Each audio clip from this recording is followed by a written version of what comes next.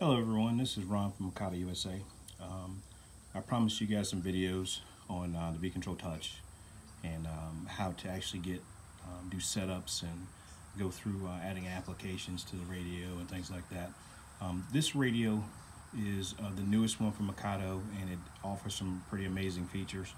Um, there's no performance increase uh, versus the V-Control and the V-Control Touch as far as your flying experience, but the actual being able to be connected to the model and being able to get to things quicker and being able to do setups quicker and things like that are, are definitely a plus with this radio versus the V-Control. Um, both excellent radios. Um, you just decide which one you want to go with. But this video is mostly, mostly going to touch on the V-Control Touch and um, how to use it and how to set it up. Okay, so this one is going to be just the basic setup of, of a helicopter. Um, this is the V-Control Touch uh, in white, and this is my Logo 550SX. As you guys can see, um, I kind of I took the blades off and everything because that's basically how you should always do a setup with uh, blades off of the machine until you absolutely need them, which is for setting pitches and ranges. But um, I'm gonna start with how to how to uh, do a basic setup on this guy. I've already saved my setup to the heli to the uh, V-Control Touch, so I'm gonna start with a whole brand new setup go through everything from the beginning so you guys can see what that looks like. All right, so first thing, um, one of the cool features of V-Control Touch is obviously if it's connected to a helicopter and you turn on the helicopter, um, if it's bound to the helicopter, I should say, it'll scan while it's in dormant, it'll scan the band and look for any power. And when you power up the helicopter, the V-Control Touch will power up as well.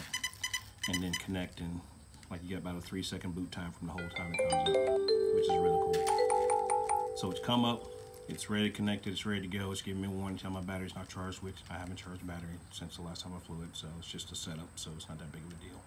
But we're gonna start with a whole new setup and show you how that goes from the beginning. Okay, so first thing you do um, whenever you do a setup is you wanna start with a brand new setup. So in the control touch, you can slide this over and you go down to model setup, you tap model setup, and you wanna hit new model setup. When you do that, it's going to ask you if you want to start creating a new setup. And it's going to un unplug the motor cables and all that old stuff to keep the helicopter from spooling up. I have the um, blades off of it, so even if it spools up, it's not a big deal. Nothing's going to happen. So I'm going to hit start new, create new setup. And then it's going to ask me what helicopter it is. So in V-Control Touch, there's a bunch of preset helicopters, and then there's some that are just other helicopters on top of it, and then the big scale at the end. So if you have a logo machine, you just pick the one it is. If you don't have a logo, then you pick other whatever it is on the side um, to the right, and it'll tell you what other 700, 600, 500, whatever you want to do. Now, the, the these starting points are just starting points. That's just what they are. They're basic values for what they think a 600 size machine or 700 size machine should be. And for a logo, it has a few extra things because they know the characteristics of a logo. So it'll give you a lot of stuff that you don't have to do if you're doing a normal setup. Like it already knows that you have a counterclockwise um, spinning helicopter. It all automatically knows um, that you have, uh, I'm sorry, clockwise spinning helicopter. It automatically knows um, which way the wire is going to be up and facing a certain way. So there's things that it already knows. So you'll see that when I select it. So I select Logo 550. It sends the data directly to the Neo, and then it starts the setup. So basically what it's doing now, it's wiping the Neo clean, and it's going to start from the beginning all over again. So you say it's sending data, give it a few seconds here and it'll be done. Uh, it's a little bit quicker when you have a, a brand new Neo because um, there's nothing in it, but I had to, I'm basically erasing my setup and starting over again. Okay, so the first thing that comes up is the name. So you can choose to edit the name if you want to. If you tap it, you can change it to Logo 500. Um, mine is Logo 550SX, but since I'm gonna reload my file, I really don't have to rename this model, but just to show you what it's gonna be, I'll just go back and I'm gonna go, um, I'll change it to 550 and then SX. Uh, let's do, I'm gonna make it capital. How about that? So SX. And then you can hit enter. And now the name has changed to logo 550SX. Okay, so now it's asking me the next step is face up wires to the front. That means on your helicopter, uh, is the is the Neo going to be straight uh, facing upwards or upside down? And if you want to change it, depending on the helicopter, you just select whatever that's going to be. It's face up wires to the front. If you look at the picture, it shows you uh, face up wires to the rear. That means that you're looking at the back of the helicopter it, it, with these pictures, by the way, from the back towards the front. and then face up, uh, face down wire to the front or face down wire to the rear. Mine is going to be face up with the wires to the front. So that's what it is. Um, that's how it's mounted on my helicopter, as you can see. Face up with the wires to the front. And then that's what I select. Now this is very important that you select this correctly because if you don't, the gyros and everything will be backwards. You'll have a helicopter that tries to tip over on flight and um, or try to take off and things just will not work like they're supposed to. So make sure you take into consideration what you're doing here. I've already chosen that, so I'm just gonna select it. Now, one cool thing here is if you select and you push and hold a button, it'll give you a secondary option, like a secondary menu, kind of like an expert menu. Not really expert, but like a secondary menu. And this is if you have an external sensor. You can set the orientation for an external sensor. I don't have one, so I have um, external sensor not selected is what mine is. Also, if you make a selection and you don't want to make a change, you can just tap away from the screen, or from the thing, and it'll go back to where it was. So you don't have to worry about picking something by accident or how to X out of it. Okay, so I know that you have a clockwise main rotor. It already knows that, but if you didn't know that, you can change it to counterclockwise if you wanted to. You just pick it, and then it would be counterclockwise. But I know it's clockwise, so we're going to go back to that for this particular helicopter. That's the basic setup for just the first part. So then you just scroll up Everything is just in this menu. You just scroll up, which is really nice. It makes it really easy to see. Um, I'm going to select what type of swash plate I have. So if I have a, a, different degree swash plate, this is looking straight down on top of the helicopter with the nose in front. HR3 is um, the normal 120 degree um, orientation with the the uh, elevator reverse is what they call it. The elevator's in the rear of the helicopter. So um, that's what the logo is set up, the logo 550. You see there's all the options for H4, H3 135, 135 normal, H1 mechanical, whatever you want. So whatever your helicopter is, that's what you select for that. Mine is HR3, so I'm going to leave it there. Um, one really cool thing you can see is obviously you got the secondary menu you can play with, and you can change the angles for each one. So like if you got a five-bladed helicopter or a multi-blade helicopter and you need to get the phasing correct because it's not done mechanically, then um, you can actually change the phasing in this to get it to where you need it to be. I don't have to change anything, so I'm to get out of that. All right, so one cool thing you need to look at as well is if you look right here, you see the numbers on the screen, one, two, and three. Those are the numbers that correspond to where you plug the servos into the Neo. So the elevator would be number one. The left aileron, if you're looking straight down on top of the helicopter with the nose to the front, would be number two, and the right aileron would be number three. You plug those in this way, you never have to worry about if the servos are plugged into the right port. It does, it'll tell you exactly where it is. So if you select this, and let's say I say I choose number four or whatever, it's the same thing. You look at the, the numbers. One is here, two is over here, three is up here, and four is over there. That's where you would plug the servos in. And then correspondingly, everything would work like it's supposed to. I'm to go back to my 120 degrees swash plate. So I got that, and I'm good to go. All right. So the next thing is um, the servo reversing.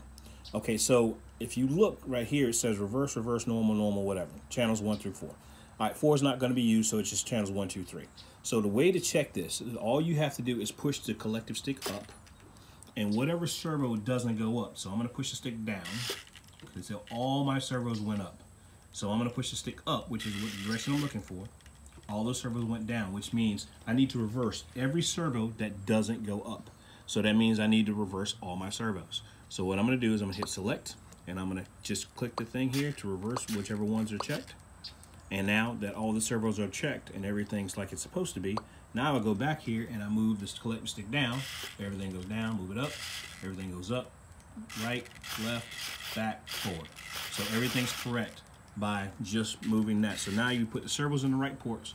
You've adjusted the servos to whatever they need to be. Whichever one doesn't go up, you just reverse it and it makes it really easy for that.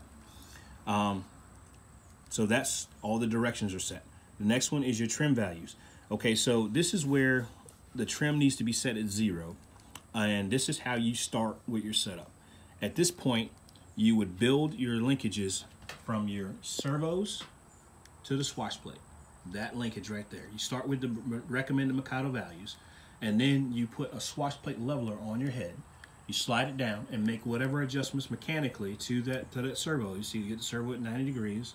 Um, does it have to be dead nuts perfect 90 degrees? No, it doesn't. But as long as you have full travel and it's not binding one way or the other, you're good. But um, perfect perfect uh, servo geometry is always a good thing to do. Um, so you build your swash plate linkages from the swash plate to the servos. And you make sure the swatch plate is level at this point right now. So when you enter the trim value, what's going to happen is when you when you've entered the trim like this, or you tap onto it, you get to it, it shows you where the trims are, and it also takes the swatch plate to what it thinks is level. Okay, and it moves the servos to whatever 90 degrees that they think it is, and this is where you build your, your linkages. So once you've built the linkages, this is what it thinks 90 degrees is, and which is also what it thinks zero is on the pitch and level on your swatch plate. Once you've built the linkages, you put your swatch plate level on, you adjust everything, get it perfect. Then you build the linkages from the swatch plate to the head to make sure you have zero degree pitch at at this um, particular part in the, uh, the setup. You want to put a blade on, put a pitch gauge on it, check it, make sure you have zero pitch with the orientation just like this with the with the blades coming towards the front and the rear of the car, uh, helicopter. They're facing the boom. Uh, they're parallel with the boom, I apologize. Once you get that one at zero, you spin the other one around to the same orientation, make sure it's in, in the middle, and you want to check the pitch on that blade as well. Once you get that blade at zero, now everything is zero and mechanically correct. At this point, everything else should fall in line. Assuming that your, your distance on your balls for the geometry and everything is correct, everything should fall in line. Your pitches should be good. Your, everything should feel good in flight. There should be no weird tendencies, nothing strange. Okay, so this is at zero. I've already leveled my swash plate. I've already put it to where it needed to be, and I've already checked zero pitch at, at this thing, so I already know that my, my setup is correct as far as that's concerned. So now, um, if you wanted to make an adjustment, you can, because sometimes you can't get it dead nuts perfect, but I will show you a trick for Mikado helicopters. Okay, so let's say um, you put your, your pitch gauge on and you're half a degree off. Uh, a half a degree you can't get sometimes with a full turn because your, your linkages are indexed. There's a small side and a big side. The big side goes to the ball so it snaps on it, holds it. If you push it through, you run the risk of the, the, the thing failing because what the, the link failing because it's actually been pushed out too far and it's not going to work. So you need to make sure that on a Mikado helicopter, you make sure whenever you put the linkage on, you see the number on the outside. So like if you if you look here, it's kind of hard to see, but you'll see the number on the linkage. It says 2.5. You know that's on the outside. You know you got the linkage on correct. Okay, so um, anyway, so if you can't get that half a degree on a, on a helicopter, if you take this one full turn and it's one degree over, or half a degree over, and you take it one full turn out, then it's one half degree less, what you can do is you can actually remove the screw right here with the ball that's already inside of the linkage. You can remove that screw with the linkage and the ball inside the linkage, turn the linkage one half degree or one half turn because it doesn't affect the actual linkage itself and screw it back in and that'll get you back to zero. And that's how you can do it mechanically and get away with it um, on a Mikado helicopter. Some other helicopters do the same thing, but that on a, on a logo, um, that's actually a pretty cool feature that um, some people uh, kind of miss a little bit. So back to um, back to the trims. Your trims are at zero if you had to make an adjustment and it had to be electronic because you just, hey, you didn't want to do anything, you can make adjustments here. Go up and down.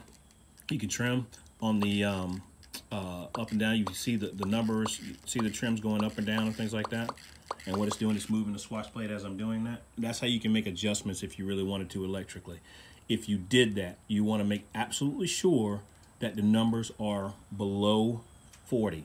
If the number is above 40, when the when the uh, flybarless unit is actually using the servos, it can actually push the uh, the servos past the point where they actually do a useful signal and they'll go limp. So in flight, you'll have an unexplained failure and you won't know why. And well, that's one of the reasons because you've pushed the servos past what they can do because of a bad setup. This is why you always want to try to do it mechanically perfectly. That way you never have to worry about the servos being out of their, their spec range or anything like that ever happening. So another way to check that is if you click out of this, and you go to um, go to let's say um, the trim and then hold it down, that takes you to the actual numbers themselves. And if you look on the screen, you see what it says negative 60, negative 60. That's way outside of spec. So what you need to do is just go back to the trim and hit reset, and then do everything back to how it was. Make everything mechanical, make everything zero, and then your setup will be perfect as far as that's concerned. You'll never have to worry about any weird issues in flight. Okay, next thing your collective minimum and maximum. Okay, so how this works. When you're doing the collective minimum and maximum, what you're doing is you're setting how much collective you actually want to run. Whether that's um, uh, uh, uh, 14 degrees, 13 degrees, whatever you want to do, that's a positive and a negative right here. You see the two, the two uh, min and maximum. Okay, so when you move your stick down, you see the negative go to 100, right? And when you tap this, you can move this, this thing up or down like this, and that'll actually, you check with your pitch gauge on your blade, and you check and see how much negative pitch you have, all right? So let's say it's at 100 and that's where I want it to be. Then you move your stick up and it goes to positive, same thing. Then you can move it up or down and get the, the positive and the negative collective the same on top. It'd be 14 degrees, 13 degrees, 12, whatever you want to run. Make sure they're the set on each one. But you have to move the stick up or down in order to activate the menus, as you can see. If it's in the middle, nothing actually goes, allowed me to touch the screen and show you what I was talking about without actually making any adjustments. Move it down, the negative comes up. Move it up to the top, positive comes up. It's also imperative that you calibrate your sticks on your radio because that's what it's looking for the endpoints in order to activate some of these things. Sometimes they don't work. Okay, so cyclic. This is the eight degree mark that the cyclic is looking for. Okay, so when you hit this checkbox, it takes the swatch plate to what it thinks is eight degrees. Okay, so that's when you put a pitch gauge on your, your blades and you check and see if it says eight degrees. If it's not, then you take and you come over here and you click this and you move the slider up and down until you see it 8 degrees. You see as I'm moving the slider, see it's moving the swatch plate more or less. Okay, so that will get you to where you need to be um, for your 8 degrees. 8 degrees is not how much cyclic pitch you're going to be use, using. It's a, it's a reference point for the V-bar. It knows where basically the center point of 8 degrees is if you want to think about it that way. It's just asking where that is it's very imperative that you get this correct. If you don't get this right and you have a model that can't handle like if you try to overdrive the servos with a higher cyclic value than what happens, you can get blade strikes. So um, 8 degrees is where you want to be with this, and that's where you want to uh, um, set everything to. And when you're done, you hit unchecked and it takes everything back to zero. So this is a check. This is unchecked. You see the swatch plate move. All right, so next one, tail rotor setup. All right, so now you have to choose what type of tail rotor you have. I don't have one selected right now, which is a cool thing now. What they've done is they've gone in and they've removed a preset setting so you don't burn up a tail servo, okay? So the tail servo I have on this helicopter is a Savox digital, but it's a 1500 333 micropulse servo, okay? So 1520 micropulse and 333 hertz. So what I'm gonna do is I'm gonna go down here and I'm gonna select 333 1500 to 1520, okay? And then I'm gonna check and see if it's working like it should, okay? Now, I see the servo is working like it should. It's not hot, it's not doing any weird stuff. All right, so that's also a feature they put in V-Control as well. So it's not just V-Control Touch, they did that, V-Control did that as well. They put that in there to keep you from burning up tail servos. Okay, so now we're gonna go to the tail setup and I'm gonna show you um, a couple of things on how to set that up. Okay, the first thing is you need to know if it's going the right way or not, okay? So on this helicopter, when you set your tail up, you just need to make sure you get full throw left and right without binding, okay? So yes, it's nice to have the servo at 90 degrees, but it's not absolutely necessary as long as you get full throw left and right. When you get to this menu, you see the left limit in the radio and the right limit are at 40. Okay, so it barely moves whenever you do anything. So if you go left and right on your sticks, it barely moves. Okay. How do you know if the tail is correct? Okay, I've done this video um, by itself once before, but I'm going to put it in here so everybody can see and everybody can understand how it works. Okay, so what you're going to watch is the trailing edge of the top blade. Okay, I don't have any tail blades on here, but the trailing edge on this logo, which means the skinny part of the blade is going to be facing the front of the helicopter. Okay, that means this part of the blade, the skinny part, when you install the blades, is going to be towards the front. So you stand the blade straight up and down. So you're looking at the skinny part of the top blade. Now, it doesn't matter if you have a helicopter that rotates forward, like, I mean, reverse like this on a, on a logo, or it could be forward like it is on a Synergy, or it could be on the opposite side of like a TDR it does not matter. As long as you look at the trailing edge of the top blade, you'll never ever go wrong. Okay. So what you want to do is if you move your stick left on the on the radio, move that stick left, this trailing edge should go left. If it does, you need to reverse the servo. So I'm going to move it left, and it went right. Okay, see how that's backwards? The trailing edge, which is this part, should be going inwards, but it's when I move the stick left, it's going right. So I want to reverse that in the screen. So all I got to do is go up and tap it. Reversed. Same servo direction? Yes, done. Now when I move this tail left, it goes left. When I move right, it goes right. All right. So another way of knowing if the gyro is correcting correctly is what I'll, I'll show you that at the end. But all you have to do is you pick up the tail and you're going to make a movement with it and watch the tail again.